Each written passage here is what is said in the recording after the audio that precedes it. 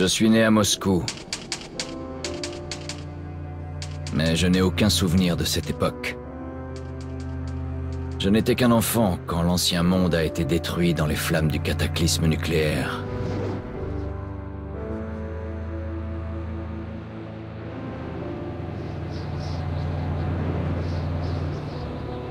Avec 40 000 autres, nous nous sommes alors réfugiés sous la ville, dans les stations de métro. Depuis 20 années ont passé, et quelques âmes courageuses ont survécu, subissant un hiver sans fin.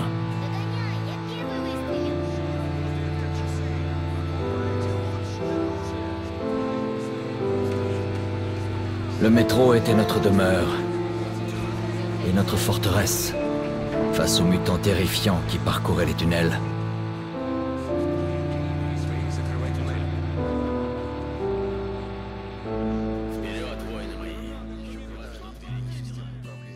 Nous n'avons jamais perdu l'espoir de retourner à la surface. Mais un jour, une nouvelle menace est apparue. Et nous nous sommes retrouvés en guerre pour la survie même de notre espèce.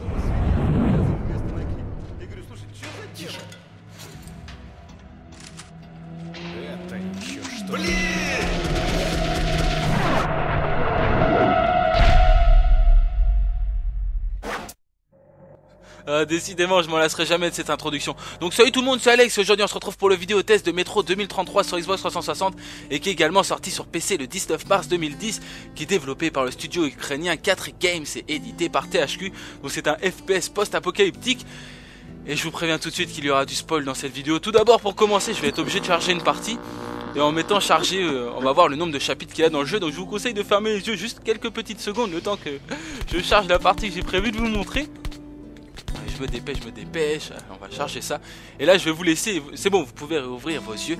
Je vais vous laisser écouter la voix de notre héros parce que on l'entend vraiment très, rarement. C'est que, lorsqu'on charge un chapitre, enfin lorsqu'il y a un nouveau chapitre, une nouvelle séquence, c'est à ces moments-là, il nous explique un petit peu un petit résumé ou ce qui va se passer par la suite. retourner de nouveau à la surface et retrouver le charme sinistre d'un Moscou apocalyptique. On m'avait averti à la brèche qu'un nouveau groupe de Rangers fachos était apparu. Mais j'étais décidé à respecter la dernière volonté du commandant et à transmettre son message à police. Voilà, donc c'est les seuls moments où on entendra vraiment le héros parler, c'est pendant ces petits temps de chargement. sinon tout du long de l'aventure, on lui posera des questions mais il ne répondra que par des, hochements de tête pour dire oui ou non. Et c'est vrai que c'est plutôt immersif. On va ramasser déjà quelques petites munitions. Et avant d'aller là-bas, parce que ça va être la guérilla, je vais vous expliquer deux trois petites choses qui font que ce jeu pour moi est un de mes coups de cœur, mais il y a énormément de défauts. Mais il n'y a pas d'inventaire, il n'y a rien de tout ça, il n'y a, y a pas, y a pas d'interface pour l'inventaire. C'est tout est misé sur le réalisme, sur le fait qu'on soit dans l'action tout du long. Regardez déjà, vous voyez que l'écran est un petit peu cassé, c'est normal. On a un masque à gaz, regardez, je vais l'enlever. Et ça nous permet, écoutez déjà, voilà, on a notre personnage qui commence à, étouffer. Ça nous permet d'aller à l'extérieur, de pouvoir respirer, ou même lorsqu'il y a des radiations, de pouvoir survivre un petit peu. Et lorsqu'on se prendra trop d'impact de balles, il faudra en ramasser d'autres sur des cadavres. Et il y a également un système de filtre, comme vous pouvez le voir, on a une montre. Attendez, je vais vous montrer notre montre. Et on a une petite minuterie pour nous montrer euh, combien de temps nous reste-t-il avec euh, ce filtre-là. Et c'est que ça en fait, même pour les armes. Là, j'ai pas d'armes euh, comme je voudrais vous le montrer. Mais pour les armes, il y a certaines armes où c'est à pression, quoi. C'est comment je pourrais dire euh, Ouais, c'est à pression où il faudra pomper un petit peu pour avoir de la pression pour tirer. Et c'est vrai que c'est immersif pendant le combat. On est là, oh, on a nos, on a des munitions et tout ça, mais on ne peut pas tirer. Faut qu'on pompe et tout. Donc c'est vrai que ça ajoute une totale immersion. Pareil pour la lampe torche. Regardez, je reste appuyé sur le pad de droite. Hop, on a un système de dynamo. Et lorsque je l'augmente, vous voyez que la distance d'affichage de l'éclairage augmente euh, dans le tunnel. Et lorsque c'est à zéro, ça c'est vrai que c'est un petit peu un petit bémol. J'aurais bien aimé que que l'éclairage se coupe complètement, mais il ne se coupe pas. C'est vrai que ça aurait été plus immersif, mais c'est vrai que ça a rajouté de la difficulté. Et pareil, on n'a pas d'interface euh, pour la carte. On appuie sur Back. On a notre petite carte à droite avec le petit, euh, le, petit, comment s'appelle? Le petit GPS, quoi, la petite boussole, nos objectifs à tout moment. Et lorsqu'on est trop dans l'obscurité, on, on active notre briquet et ça nous permet de, de voir ce qu'il se passe et ce qu'il faut faire et où nous sommes. Et là, on va se lancer dans le vif du sujet, c'est-à-dire les combats. Donc, je, suis désolé, il y aura forcément du spoil à tout moment. Mais là, c'est, il y aura beaucoup d'action. Regardez, là, c'est à tout moment, je peux changer de masque, mais celui-là, il est encore en bon état. Il y aura forcément du spoil, mais là, c'est pour moi la mission qui me semble euh, le mieux à vous présenter parce qu'il y a des phases de shoot. et il n'y a pas trop de spoil par rapport à l'aventure. Là, phase de shoot intensif. Il y a des ennemis en haut, il y a des ennemis qui risquent d'arriver d'en face. Et ça, vous allez voir, il y a beaucoup de défauts au niveau des phases de combat. au niveau de l'intelligence artificielle, elle est... Je sais pas comment je pourrais dire. Elle est coriace, il n'y a pas à dire, elle se cache, elle vous balance des mini, des grenades, elle vous tire dessus et tout ça. Mais c'est vrai que par moment, elle est assez bête. Vous pouvez être à un mètre devant elle, elle vous remarquera pas, elle vous tirera pas dessus, ou elle s'habitera, elle s'habitera. Elle. Attendez, elle s'abritera, voilà, devant vous, mais vraiment devant vous, quoi. Et c'est vrai que c'est dommage. Mais c'est vrai que je, je, suis également mort très souvent.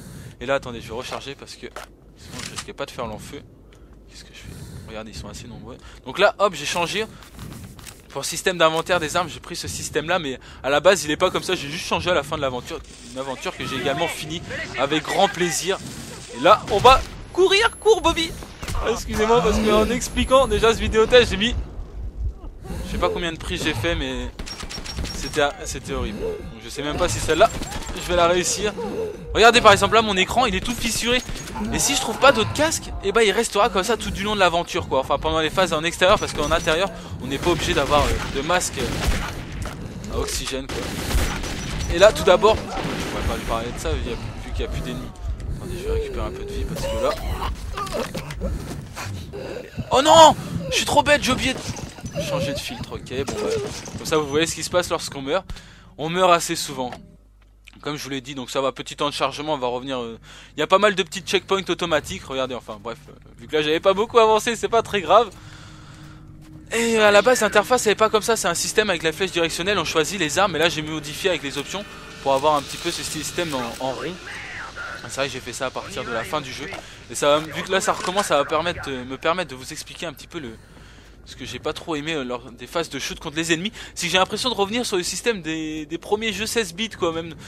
16 bits, 32 bits et tout ça, même 8 bits pour vous dire, c'est que lorsqu'on tire sur l'ennemi, il a une petite animation et euh, j'ai l'impression que pendant cette animation, lorsqu'on lui tire dessus, et eh ben c'est comme s'il avait un moment d'invulnérabilité. Je sais, ça peut paraître bête, mais vous allez voir, c'est assez particulier. Là, je vais rebalancer ça pendant qu'ils ne m'ont pas vu. Ah, c'est bon là apparemment ils vont tous péter. Regardez D'accord, je vais mourir aussi. Ok, bon là je, fais le maxi plot, je vais vous montrer des trucs et, je joue n'importe comment. On va essayer de se concentrer un petit peu. Donc au niveau des armes, les armes on pourra les ramasser comme ça sur les cadavres, les ramasser les munitions par exemple là vous pouvez voir que je peux changer mon arme qui est indiquée euh, juste au dessus contre la calache mais je vais garder la mienne elle un petit peu mieux. Quoique je vais peut-être prendre la calache ça sera mieux là. Là, là il y a mon, ancienne arme qui est par terre. Ou sinon, on aura quelques petits commerçants vu qu'on a quelques villes euh, qu'on pourra explorer. La chance de filtre, sinon je, risque d'avoir le même problème que tout à l'heure. La petite calache. Et le système d'argent, en fait, c'est des munitions. On a des munitions qui sont fabriquées dans, le métro. Euh, en fait, tout se passera dans le métro. Euh, le métro russe je sais pas si je l'ai dit, c'est une adaptation euh, du best-seller de Dimitri Gluslovski. Je sais pas si je le prononce bien. Et c'était euh, Stalker avait repris également ce, cette adaptation de, avait fait également une adaptation de ce roman. D'ailleurs, 4 Games c'est un nouveau studio et certains de ses développeurs étaient euh, issus de, des jeux Stalker. Je vais vous montrer l'animation si je ne ferai pas. Regardez, là il a une animation. Et j'ai l'impression que là, il... oh, punaise, je vais encore crever désolé, mais là je suis comme un peu. J'arrive même pas à vous montrer ce que je veux. Ok, bon, je vais encore mourir. Ah mince, attendez, je vais récupérer juste le masque là parce que celui-là il me sert plus à rien. Vite, change Ah, voilà, un masque tout neuf. franchement, pour faire ce test, euh, je galère, mais un truc de fou. Et j'ai envie de vous montrer l'animation du bonhomme. Donc l'argent, ça sera des munitions. Ah, comment je pourrais... Attendez, d'abord je tue tous les ennemis. Et après je serai tranquille. Voilà, toi... Oh, le masque il s'est envolé. Il y en avait un autre petit Bobby qui était juste quelque part par là, si je dis pas de bêtises. Il y en a également au-dessus. Donc voilà, on peut ramasser des items, ramasser leur argent, ramasser des munitions, ramasser leurs armes à, tous les ennemis. Bon, il n'y a pas d'animation du personnage qui prend l'arme et qui prend les munitions et tout ça, ça se fait vraiment un système très old school. Comme vous pouvez le voir là. Et en fait, l'argent, c'est des munitions, mais les... Comment je pourrais dire euh, Les munitions qui sont créées en ce moment actuellement dans, dans le métro n'a ne, aucune valeur à part pour tuer des ennemis. Mais les munitions qui datent de l'avant-guerre, de l'avant-explosion, enfin de ce qui s'est passé, le cataclysme, a de la valeur. On peut s'en servir également comme munition pour tirer. D'ailleurs, euh, elles seront beaucoup plus efficaces contre des ennemis. Il faudra moins de balles pour les tuer. Mais en même temps, faut vous dire que, comme ils m'ont dit, je sais plus dans l'aventure, je sais plus comment ils expriment ça, mais vous, tirez avec de l'argent. Ils l'ont mieux dit que moi, mais bon. Regardez, je vais vous montrer l'animation si je peux le faire. Là, il a son animation et j'ai l'impression que quand je lui tire dessus, et eh bah ben, ça lui fait rien.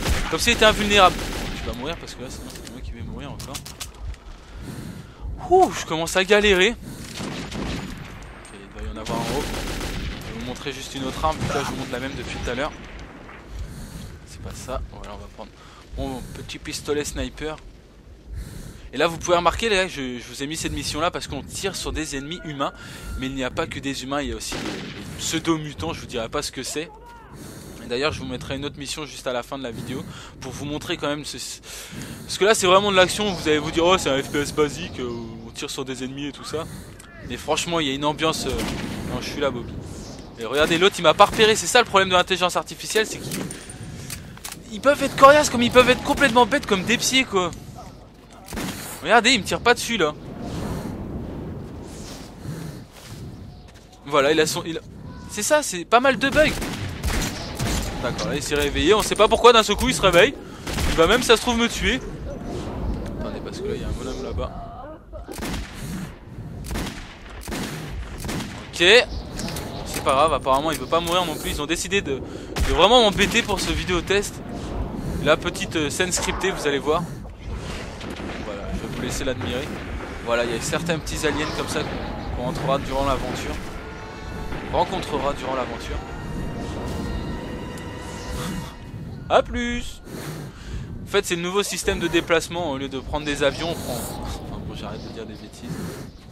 Qu'est-ce qu'il a comme arme euh, Est-ce que c'est ce système Non, c'est pas terrible. Donc sinon, on a également une autre arme. Je sais plus si je vous l'ai dit. Je commence à avoir vraiment du mal là. Et là c'est pas fini en plus, il va y avoir encore beaucoup d'actions. Ah, j'ai décidé de pas recommencer cette vidéo si je l'arrive. Si j'arrive pas maintenant, bah je la ferai jamais, hein, je suis désolé.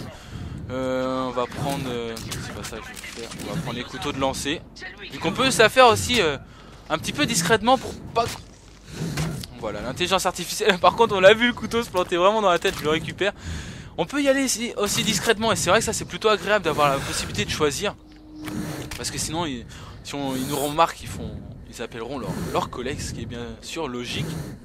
Là, on va essayer d'y aller euh, à la, tel un Sam Fisher. Je sais pas si d'ici je peux.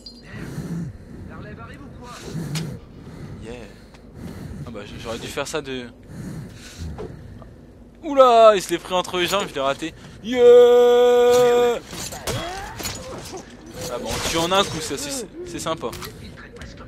Et ce qu'il faut savoir, c'est que là, j'y suis arrivé sans trop de difficultés, mais la plupart du temps, il y, a des, pièges, il y a des boîtes de conserve qui sont accrochées au plafond. Comme ça, ça nous permet de... Enfin, lorsqu'on avance et on heurte ces, ces boîtes de conserve, ça, alerte les ennemis. Les bouts de verre au sol qui sont cassés, il faut faire attention à tout ça. Et en plus, euh, il y a des pièges également. Lorsqu'on marche, ça déclenchera un système piégé qui nous éclatera la tronche euh, contre le mur. Il faut faire attention. Là où on marche, c'est vraiment important de ne pas y aller comme un bourrin forcément. Et là, on va s'arrêter là sur ce, chapitre-là. Je vais vous en montrer un autre pour vraiment vous montrer euh, l'atmosphère qui est vraiment présent dans le jeu et qui pèse lourd. Là, c'était vraiment plus des phases d'action. Mais sinon, ce jeu, franchement, c'est un de mes coups de cœur, malgré qu'il y ait énormément de défauts comme l'intelligence artificielle. Je l'ai fini hier soir, donc regardez pas encore si vous voulez pas être spoilé par rapport au nombre de, chapitres. De toute manière, je ne recommencerai pas la vidéo parce que là, j'en ai plus que marre. Je voulais vous montrer. Et vous noterez une mélodie franchement, mais franchement énorme. Ça faisait longtemps que j'avais pas entendu de des si belles musiques dans un jeu, quoi. C'est c'est énorme, quoi. de Cannes m'avait pris par surprise. on a la possibilité également, là, je coupe la parole, Bobby. de choisir la langue du jeu si on veut. On a le choix entre français, espagnol, italien, anglais, je crois, russe. Et de mettre des sous-titres également, bien sûr, en français. Et là pour l'instant je l'ai fait en français le jeu. Mais je pense que je vais me le reprendre plus tard sur PC pour euh, Parce que sur PC il est quand même largement plus beau. Même si je dois l'avouer sur Xbox 360 il est magnifique. Il est sublime mais sur PC avec des effets de lumière Et avec le système où on peut y jouer en 3D et tout ça Et je me le referai sûrement en version russe euh, sur PC. Voilà, voilà. Tellement c'est un de mes coups de cœur. C'est vrai, il n'y a pas de mode multijoueur. C'est vrai que la durée de vie, j'ai dû le finir en une dizaine d'heures, quoi. C'est vrai que c'est pas très court. Enfin, c'est pas très long, excusez-moi plutôt. Mais il a, il est à part pour moi. C'est clair que ça plaira ou ça ne plaira pas. Hein. En plus, franchement, je le conseille pas aux plus jeunes parce qu'il y a certaines, certains passages qui font énormément peur. Enfin, énormément peur, qui font, euh, qui sont glauques, quoi. Voilà, il n'y a pas à dire. Écoutez. Ni les hommes, ni les monstres. Il n'y a même pas de rats. Là, je, je vais presque pas parler. Je vais vous laisser écouter. Bon, c'est un spoil, mais je peux pas. Les images vont parler d'elles-mêmes, quoi. C'est. Écoutez, je peux rien dire d'autre. Ils savent qu'on est là. Approche-toi des tuyaux et écoute. Ne reste pas trop longtemps. Je parle plus tellement, mais là, tout va parler de lui-même. De lui-même. Les images, au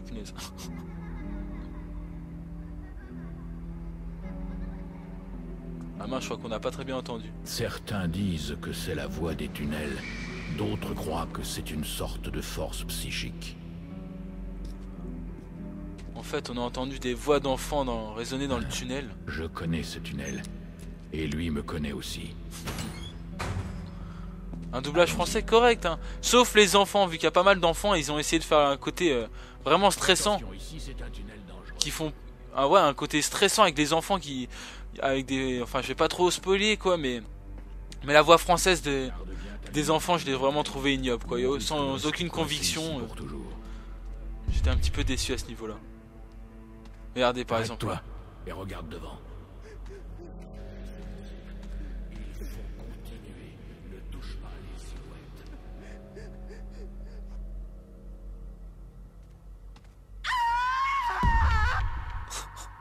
Si ça, ça met pas dans le bain. Hein. Et c'est que le début, dites-vous ça dans l'aventure.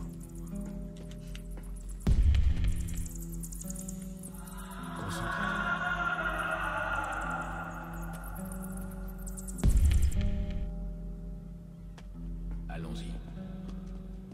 Je dois juste vous signaler également qu'il y a deux fins différentes pour le jeu, je vous en parlerai pas. Mais je tiens juste à le préciser parce qu'on le sait pas forcément. Il y a une des fins, faut, pour la voir, faut vraiment être... Euh, faut vraiment vouloir. C'est là par exemple, regardez l'enfant, écoutez sa voix. Maman, t'es où?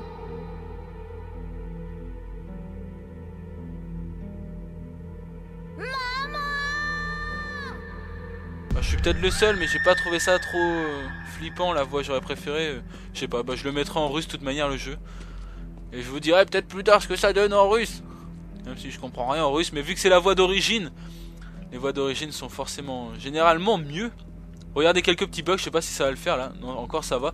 Et par moment, on peut vraiment presque aller au plafond quoi. Et ça, ça m'avait fait, ça m'avait fait beaucoup rire. Attention. Ghostbusters sur le côté Artyom. c'est le nom de notre héros, j'ai oublié de le préciser. Et regardez un, un truc, un détail par exemple là on voit vraiment les wagons à l'intérieur, j'éteins ma lampe torche, on voit plus les passages. Je la rallume, il y a vraiment un travail qui a été fait sur les jeux de lumière, c'est impressionnant. Ce tunnel est condamné à revivre son passé encore et encore. Et ceux qui ont la malchance de l'emprunter à ce moment-là le revivent aussi. Ah là là. Je sais plus, je sais plus quoi dire. Franchement, j'ai perdu tous mes mots. Faut dire que j'ai recommencé tellement de fois la vidéo aussi que... en tout cas, moi, c'est vraiment un de mes gros coups de cœur. Il n'y a pas de mode multijoueur, ils sont vraiment essentiellement basés sur le mode solo. C'est leur premier jeu, et franchement, c'est une énorme réussite pour moi. J'y ai joué, mais d'une traite, quoi, le jeu, je, je pouvais pas le lâcher, c'est énorme. je sais pas comment le décrire. Je le referai sûrement plusieurs fois, tellement, vous dire tellement qu'il est intense, quoi. Arrête-toi, et regarde devant.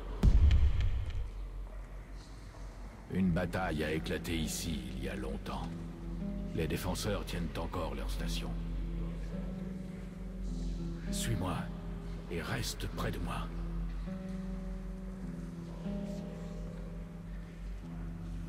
Castane la bio asterium manto, castane la bio asterium manto, alum ram hum, alum ram hum, castane la bio asterium manto, castane la bio asterium, alum ram hum, alum. Si ça, ça, Ça donne pas envie de jouer au jeu Je préférerais garder ça secret. C'est personnel, mon ami. Franchement, J'étais avec eux lorsqu'ils sont morts. Je suis le seul survivant. là, ça prouve franchement qu'il y a un potentiel au niveau de l'ambiance. Et c'est que ça au niveau de l'aventure. Certes, c'est pas un open world comme pourrait très bien l'être Stalker. Au début, je me suis dit, mince, on évoluera souvent dans, des conduits de métro, quelques moments en extérieur. C'est vrai qu'il n'y a pas beaucoup de phases en extérieur. Mais même lorsque c'est dans des conduits, moi je suis pas trop fan de, des niveaux en intérieur. Ce jeu il m'a charmé. Ça me fera penser un petit peu à. Comment je pourrais vous le décrire? Un petit peu à un Bioshock euh, au niveau de la, façon d'évoluer. C'est qu'on aura un autre objectif, on aura une porte, il faudra aller tout le temps par là, vu c'est assez scripté et linéaire. Mais bon, vu que c'est assez intense, il n'y a pas de problème à se faire. C'est une sorte de Call of Duty, je pourrais le dire au niveau de l'intensité, c'est qu'on ne s'ennuie pas. Mais il y aura forcément un chemin à gauche et à droite qui ne mèneront pas forcément euh, à continuer l'aventure, mais qui nous permettra de ramasser d'autres armes, de- d'explorer d'autres lieux. Donc c'est pas forcément, enfin si c'est scripté et linéaire, mais on aura quand même quelques petites phases d'exploration et quelques petits chemins quand même, quelques petites intersections euh, ici et là. Il s'avère que la dévastation que nous avons provoquée a été complète. Le paradis, l'enfer et le purgatoire ont aussi été atomisés. Donc, quand une âme quitte un corps, elle n'a nulle part où aller. Elle doit rester ici, dans le métro. Une forme d'expiation de nos péchés cruels, mais pas imméritée. Tu ne crois pas? Eh petit rat, revenez. Donc il y a beaucoup d'animations partout. Les textures sont sublimes, l'atmosphère est énorme, il y a des effets de, comment je pourrais dire, de particules, de vapeur, de fumée, de... Il y a tout quoi, les, effets de sang, c'est... Enfin pour moi c'est vraiment un gros coup de cœur, même si c'est vrai que il est peut-être un petit peu court et il y a pas mal de défauts comme je l'ai dit au niveau de l'intelligence artificielle qui, qui prête un petit peu défaut. Mais on rencontrera beaucoup de personnes durant l'aventure qui sont la plupart du temps attachants. Et beaucoup de rebondissements, beaucoup de... Oh merde Je sais plus ce qui va se passer là par contre. Donc je pense qu'on va se laisser là-dessus. De toute manière, j'ai fait à peu près le tour. Donc une OST vraiment énorme. Je vais forcément acheter le CD. Elle est magnifique. Une aventure à couper le souffle. On ne s'ennuie pas. Des graphismes sublimes. Même si je pense que sur... euh, Enfin j'ai vu des vidéos sur PC. C'est largement... euh, largement supérieur graphiquement. Là je crois qu'il va y avoir un petit ennemi. Et moi je vais vous laisser sur ces images. Donc je suis désolé vraiment si le, le test n'était pas terrible. Je m'en excuse, je l'ai refait tellement de fois, c'est pour ça en même temps j'ai enlevé la caméra parce que ça commençait à me saouler. Mais c'est un jeu que franchement je vous conseille si, si vous aimez les jeux euh, entre guillemets d'horreur FPS et vous voulez vraiment ne pas vous ennuyer. Donc voilà, un ennemi. Autre que Ima. Ah voilà Et les phases de combat comme ça, je peux vous dire que vous allez galérer parce que des ennemis, vous allez en avoir euh, vraiment énormément. Là encore ça va. Mais sinon des fois, ah voilà, là faudrait que je mette mon masque, mais je le mets pas. D'ailleurs là vous avez remarqué que je n'ai pas mon masque sur le visage, donc on n'a pas. Mince, pourquoi la... ah ouais les radiations. J'ai pas mon masque sur le visage, donc j'ai pas les, petits bris de, les petits bouts de, de, de masque cassé. Voilà, je vais arriver nom de Dieu. Je vais juste vous montrer cette arme là. Donc là je crois que je l'avais pas sur moi. Le système à pompe, on est obligé de. Ah non d'accord, c'est pas une arme à pompe, c'est là d'accord. Bon bah vous m'aurez compris. je vous laisse là-dessus. Euh, bon bah plus tard tout le monde, voilà. Je sais plus quoi dire d'autre. En tout cas c'est un jeu que je vous conseille. Salut